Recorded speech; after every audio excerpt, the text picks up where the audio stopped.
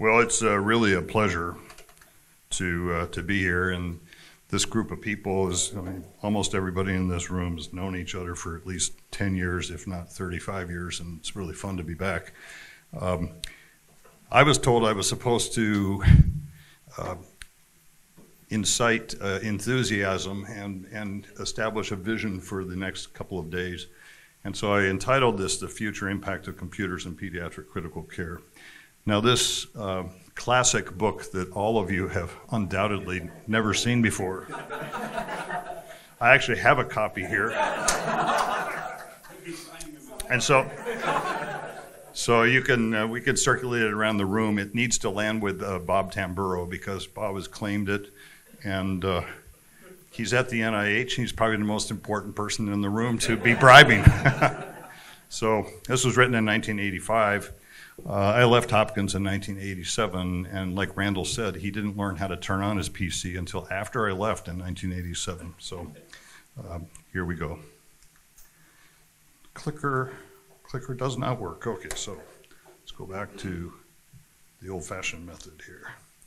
So there were a, a, number of areas I could talk about: the ubiquity of computers, large data sets, artificial intelligence, and how do we envision the next steps. And I will tell you that the artificial intelligence component of this talk changed drastically on November 30th of last year. Um, so I reworked the talk completely. Uh, so I'm going to talk a little bit less about some of the other things. But I want to introduce you to my favorite program. This is called MacPuf. MacPuf is a computer simulation of human respiration that was written by C.J. Dickinson in 1972 and published in 1979 in this monograph. And I found this monograph when I was a chief resident at Children's Hospital Los Angeles. And I was intrigued because it described all the Fortran code and described this simulation in detail. And um, I translated it into BASIC on a computer in the clinical lab at, uh, at uh, Children's Hospital Los Angeles. And uh, I took that program with me to Hopkins, and Randall and I played with it in BASIC on an old HP uh, that was in the, uh, the room that was previously inhabited by Halsted. And, uh, and then subsequently, I put it back into a PDP 1134 and Fortran, and the rest is it's been on every platform that I know of. So, why is this interesting? Well, here are some classic physiologic data that all of you have not read except Randall uh, from JAP in 1973. Um, and these are just experimental data, but this is MacPuf compared to those experimental data. Very good agreement on a variety of respiratory parameters, acute decompression in humans, uh, very much maps onto that. And so my original view when I left Children's Hospital Los Angeles and went to Hopkins, and then as I was embarking on my career, was that I thought there'd be a computer at every bedside and the computer would be actively connected to the specific patient that was in that bed. And that a physician could actually ask the computer what would happen if I changed the ventilator settings. And that's in the last chapter of this book, which was a science fiction view of the future. And Dr. Sam Spadius is in the book. And um, don't ask me where I came up with the name, but he asks the computer what would happen if I did XYZ. Um, and eventually, I thought that ventilator manufacturers would put that kind of technology into the computer, into the ventilator, because the ventilator knows just about every aspect of lung function that we can feed it. And somehow that would work. This is not a new idea. These are the authors of MacPuf. And they did exactly what I described, which is they tried to use MacPuf on a DEC PDP 1134 to model patients. This is 1980, 82, and 84, and the first author is C.J. Hinds.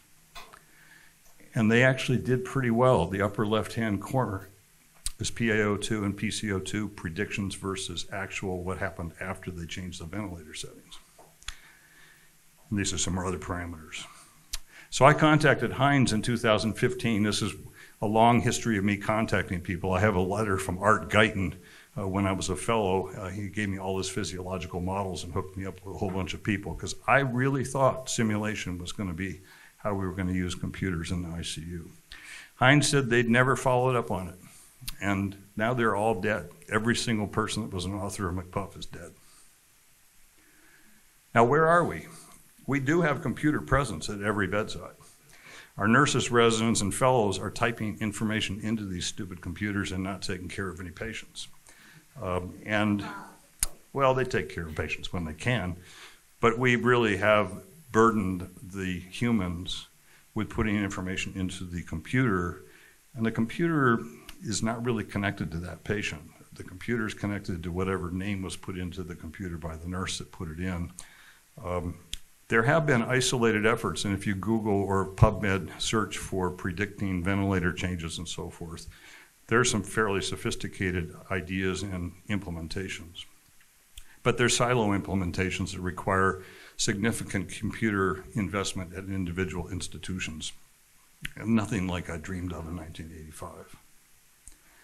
Well, what else is MacPuf good for? Well, it was designed as a teaching tool, and it had to keep 15 teletype machines busy to make the medical students think that they were fully having the attention of the uh, computer.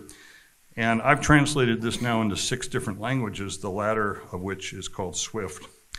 Uh, if you had a program like that, and we did, Randall and I had this at Hopkins, and I've had it in Utah, you can't really interrupt rounds and say, let's go down to my office and turn on the computer so that I can show you some isolated point. So, for instance, if you hyperventilate somebody with pure oxygen for 10 minutes, or three minutes, let's say, how long can you leave them apneic? It's easy to illustrate with MacPuf that you probably got five or 10 minutes if you really do that in a healthy person. And that's how you do, um, you know, vocal cord surgery. But you really can't. But what if it's on everybody's phone? And this is a simulator of an iPhone, and I am developing MacPuf on the phone. And this is a movie because I never want to try to do something live like this. Um, but this is on my phone, and hopefully someday I'll get it onto uh, other phones. But this is PO2, PCO2. It's a teletype output. I sort of like the teletype output. And I'm going to do what every medical student wants to do. I'm going to put it in, I'm going to put it in 3% oxygen. And that's the first thing anybody does with a simulation is they try to kill it. And you'll see that it's going to scroll down and uh, it shows the change from 21 to 3%. Continue the patient. You can see the O2 plunges, and I can inspect the categories and so forth of the, of the thing. So this could run on a phone. Every single medical student in person could have downloaded this onto there, and then you could say, let's talk about the physiology. Now, if you have a phone, you need an app icon. And the first bullet here speaks for itself. Those of you that know me know that my fashion sense has been nil since I was born. Uh, but I needed an app uh, icon, and so I heard about Stable Diffusion. And I downloaded uh, B Diffusion, which is a program onto my computer, and I put in the prompt of heart and lung with a model that had been specifically trained to create iOS icons. And I generated about a dozen or two, and then I picked this one. This is the icon that I used. And, um, so how does this work?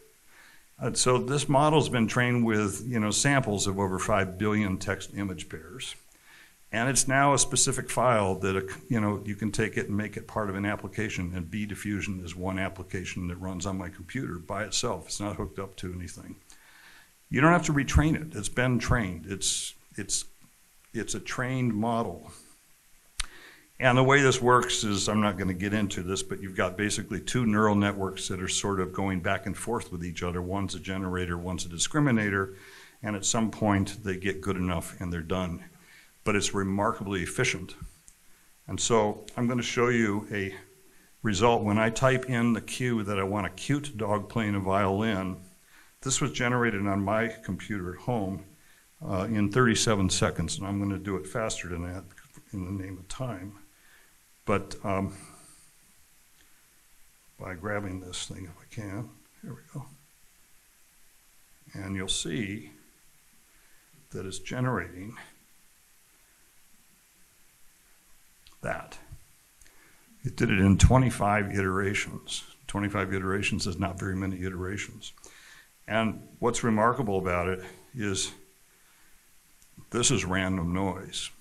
So it's starting with random noise, and in 25 iterations, it's generating that. Uh, Here's a, here's a bunch of adorable dogs playing the cello.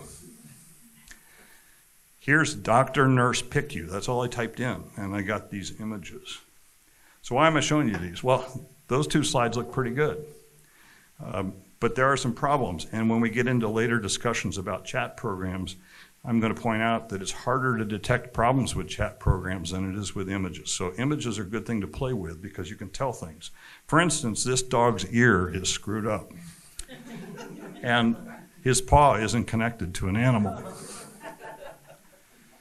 This nurse has three fingers, and her, and her stethoscope is broken. This nurse has her finger as part of a red tubing, and there's a finger that's in the small circle that's not attached to a person. Uh, so there are deficits there. Well, so I'm writing this MacPuf thing for my iOS platform. And so I spend a lot of time when I learn a new language. Swift hasn't been a 45 year hobby, but MacPuf has been. So I watch a lot of YouTube and I go to Stack Overflow, which is a nerd haven for people that do coding. And I run into this, and this is how I heard about ChatGPT. Basically, uh, Stack Overflow banned ChatGPT because there were wrong ChatGPT answers that looked right. And uh, so I was intrigued. Now I got to figure out what's going on with ChatGPT. Now, I have in this app, I want to be able to print out the results of a Mac app run. So I have to break up a PDF document and make it print correctly. And I don't really know how to break up a multi-page PDF document on an iPhone. So, but I clearly need to be able to find the nth instance of a substring in a string. So I type in, write me a function that will find that, and it gives me a Python function. Now, I wish I could have done this live for you. These are instantaneous. So it's like this isn't taking 10 minutes for it to think about. And it gives me this, and it says, here's how you use the function. Then I said, well, it actually has to be in Swift, and it has to work with Swift strings. And so instantly out this pops. And there's a little copy code button there so you can paste it wherever you want to paste it. I said, well, how about in Fortran? So it wrote it in Fortran. And I also had it write it in COBOL, and I wrote it in several other languages, instantaneous.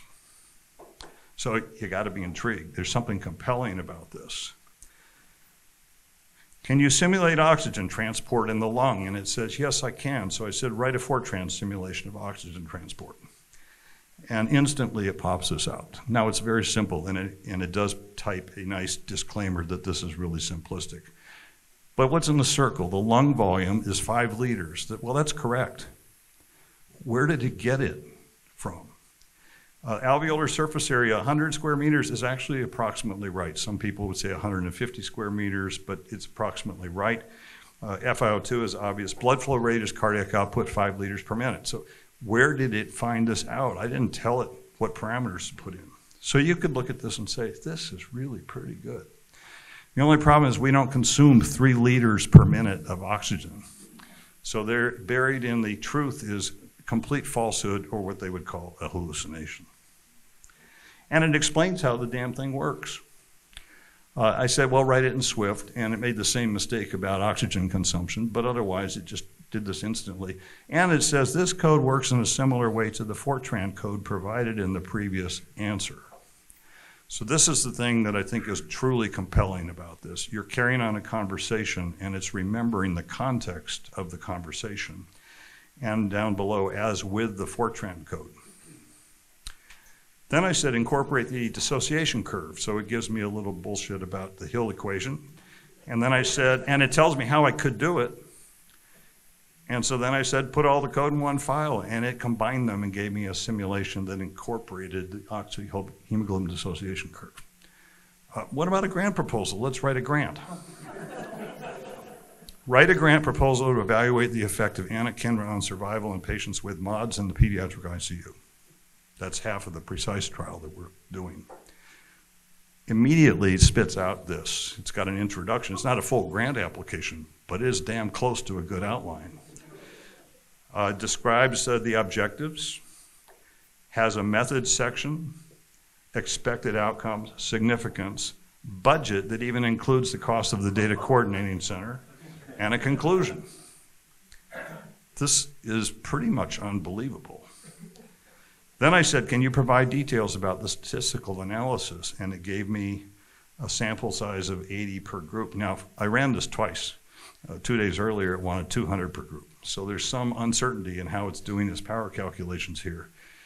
But the statistics are not really wrong. They might not be sophisticated, but they're not really wrong. Then I said, how'd you decide 80 patients? And then it says, well, blah, blah, blah. And you'll see there's no numbers on this. And so this is like you have that young student or fellow who doesn't know the answer to your question, and they can talk a lot about anything except the answer. And I've seen a tweet that says ChatGPT is the best bullshitter on the planet. So, um, well, maybe you could write my talk. So, how would a clinical decision support uh, tool manage a PICU with mods? And it gives me this stuff. Then I said, how about neural networks? Would they be useful? And it says, well, yeah, they could be useful. It puts it under predictive modeling. What kinds of neural networks might be useful? And the, the data people that are in the front table recognize that uh, they've written papers here at Children's Hospital Los Angeles on all of these except the GAN. And the GAN is the one that I used for the imaging. But there are papers, and I have actually plugged all the way through them. They're almost incomprehensible for somebody like me to read, but they're, they're fascinating. So you've got these things called RNNs and LSTMs and GANs, and there's convolutional networks that I didn't circle. Then I said, well, what about data from the virtual PICU system? It says data from a virtual PICU system potentially could be used to train neural networks. And it, it mentions RNNs because that's the way that continuous outcomes are going to be predicted. Uh, then I said I actually meant this one. And so then it talks to me about this one. And then it says, you know, you could use this to train RNNs to predict outcomes such as patient mortality. That's actually the title of one of your papers. Um, then uh, tell me more about this. They developed at Children's Hospital Los Angeles. And then down below it says it's then transmitted to a central server where it can be accessed by physicians remotely, allowing them to monitor patients and make treatments in real time. And one of the main advantages of the VPS is that it allows remote monitoring, which can be especially beneficial for patients who are located in rural and underserved areas. It's making this shit up. this, there's, and when you read the literature about this, there's there's terms for this. I've read some of the papers written by OpenAI. I mean, the uh, yeah, the OpenAI company. They call these hallucinations. So ChatGPT was trained to predict the next word that would be encountered on the internet. And so that's where it came from, uh, sweeping the internet for the last 20 years up to, to, to 2021. But this is complete confabulation, and this is the problem. Uh, what are our students going to do? So here, I, and I got inspired to, to do this because I went on YouTube and I searched ChatGPT in medicine and found residents and fellows and medical students who had made YouTube videos about how ChatGPT could be used. Uh, and this is uh, what I typed in. Write a consult on a patient uh, with respiratory failure from RSV on a ventilator with an IMV 23, PIP 30, PEEP 8, and FiO2 80, hemodynamically unstable on epinephrine. And it pumps out a really nice paragraph here, except it's got me on an inspiratory to expiratory ratio of 23.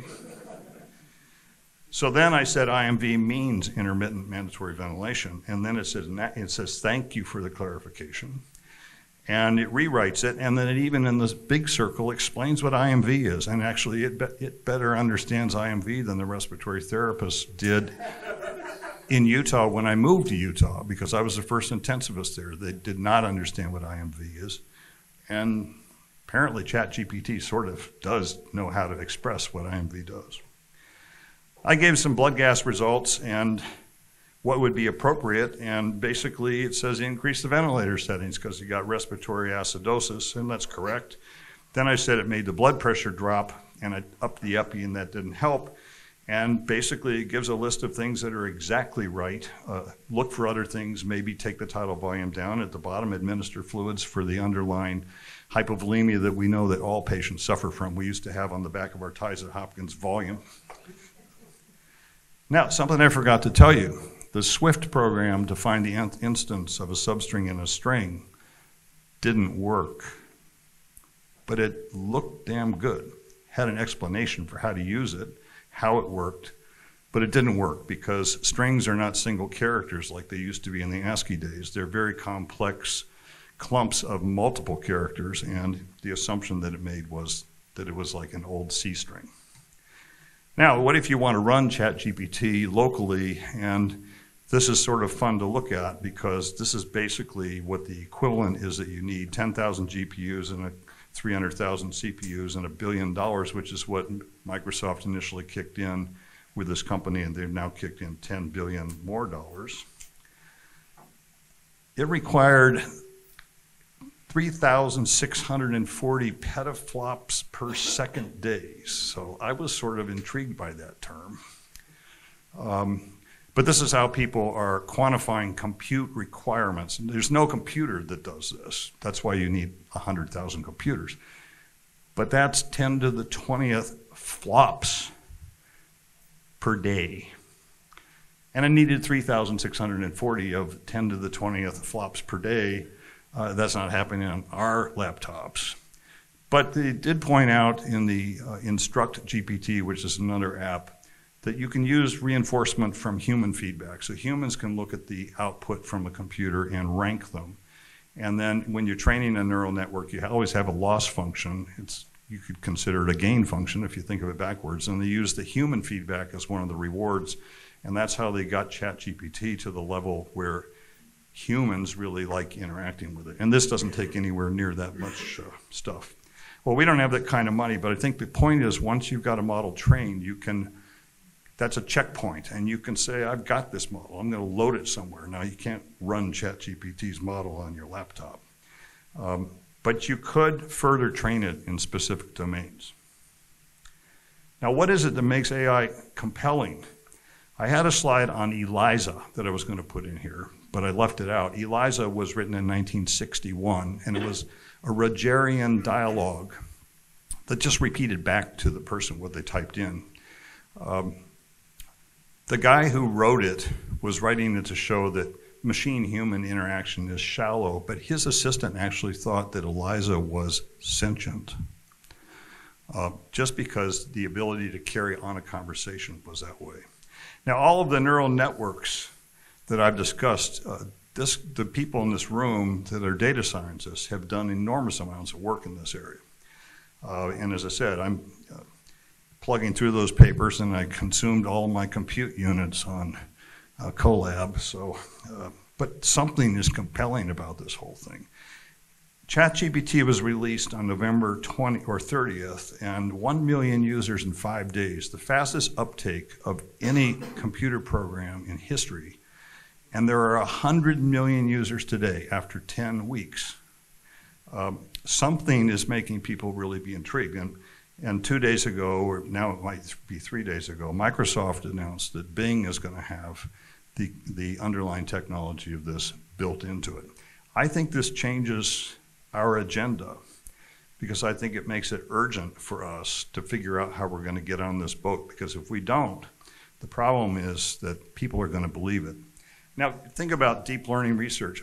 You know, an RNN monitoring for continuous risk assessment in a PICU is a fascinating paper to read it's not going to be compelling for our clinicians. They're just going to think it's another annoying trigger on the EHR. Um, but if they could talk to a program and discuss the risk of a specific patient with some kind of a model that was fine tuned on highly accurate, well curated PICU data, it would be compelling. And the ability to explain is also part of that compelling aspect. And again, there's a paper from the group here that looks at masking what went into the neural network and identifying what are the factors that probably explain the decision of the neural net to give it. So I think our challenge is to, how do we get something like this that would be useful in the PICU? So what do we need? Well, we need we need to have people that are well trained. And I've always thought it's easier to teach a physician computer programming than it is to, to, to teach a computer programmer medicine I think that's probably true in data science, and I think that we really need to get young people in our field to be interested in data science like they might be interested in the PhD in basic science, so that we've got people that are going to be able to make the translation not from the bench to the bedside, but from the informatics to the bedside. Uh, And then we need high-quality clinical data on millions of patients. Well, we got millions of patients. I think you're probably approaching 2 million patients in the VPICU. The next step is to incorporate all of the EHR data, high fidelity waveforms, all the rest of this, and that's part of the agenda, I think, of the PDC, which I never heard of until four weeks ago, so I'm just guessing. Should we be talking to some of these companies about we've got a unique resource and we've got the humans that can do the reinforcement learning to make this maybe affordable? And then should we consider creating reasonable data sets that could be used by ourselves or youngsters or in competitions to make people interested in this? For instance, like Mimic 4. Uh, now, here's an example. I thought a long time ago computers would do the simulations. Well, why not train a, a network with trios of data? We got an initial blood gas, I make a discrete change on the ventilator, I've got an after blood gas. Um, it's not really going to be the next app that's going to sell millions of dollars, but that's probably a pretty good exercise if people wanted to learn about neural networks and things like that. And you got a couple million of these trios already lying around. So it's just there. And if you think about it, that's how we all learned to run ventilators.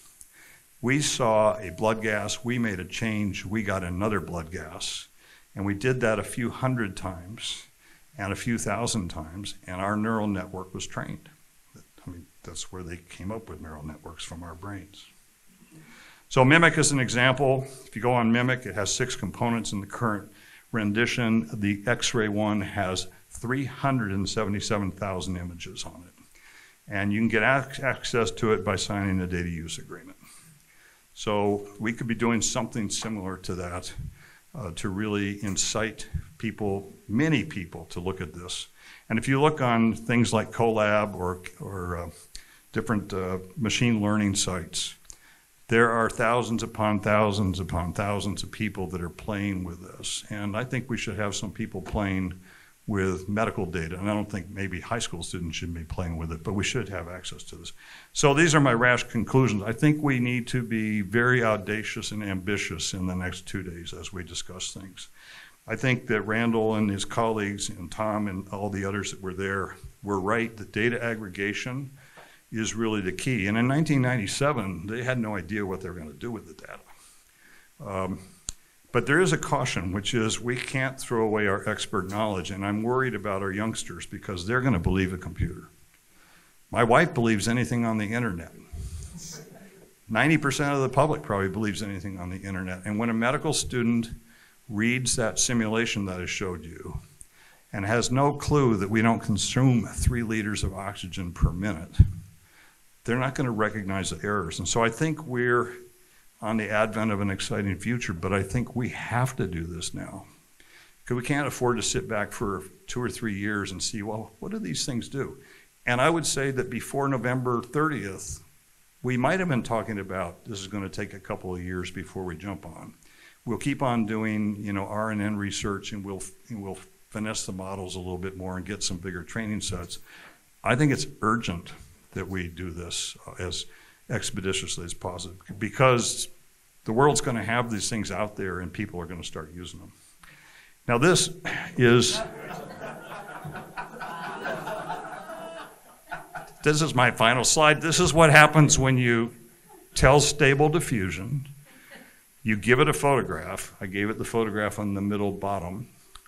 And then I said, oil painting by Van Gogh.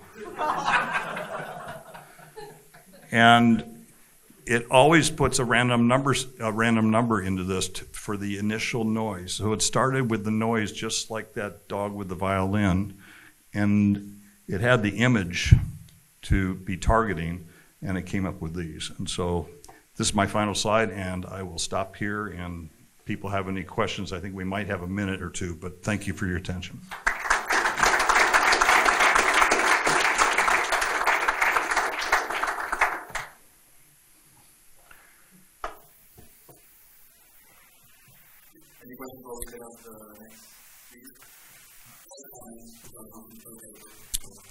Wants to look at my book?